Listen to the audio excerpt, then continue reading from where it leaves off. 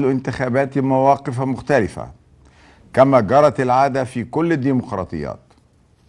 وبعد هذه المنافسة الانتخابية الصعبة فإنني وكل الأصوات التي أيدتني نتوقع أن يكون الدكتور محمد مرسي رئيسا لكل المصريين.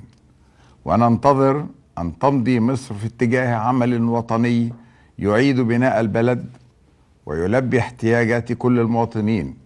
ونثق أنه لا إقصاء نثق أنه لا تصفية للحسابات.